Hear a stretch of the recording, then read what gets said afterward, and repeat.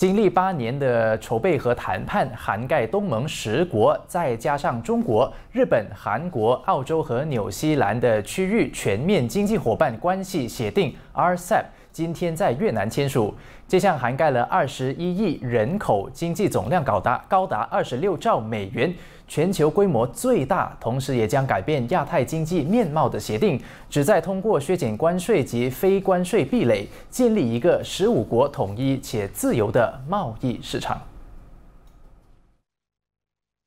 十五国推动的区域全面经济伙伴关系协定 （RCEP） 今天在越南河内正式签订。越南总理阮春福主持第四届协定峰会时形容，这项协定是目前全球最大的自贸协定。他有信心能够重振亚太地区的国际经贸活动。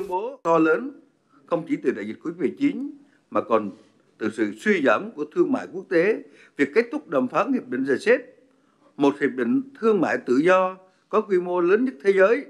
sẽ là thông điệp mạnh mẽ khẳng định vai trò đi đầu của ASEAN trong việc củng trong việc ủng hộ hệ thống thương mại đa phương, đóng góp vào việc tạo lập cấu trúc thương mại mới ở khu vực, thuận lợi hóa thương mại một cách bền vững và phát triển chuỗi cung ứng đang bị gián đoạn do dịch Covid-19 cũng như sự hỗ trợ quá trình hồi phục sau đại dịch. 这项协议是在二零一二年八月由东盟十个成员国发起，涵盖领域共有十八项，包括服务贸易、知识产权以及经济技术合作。在这项协定之下，成员国之间将消除至少百分之九十二贸易品的关税。马来西亚出口也将在市场准入方面享有额外的优惠待遇。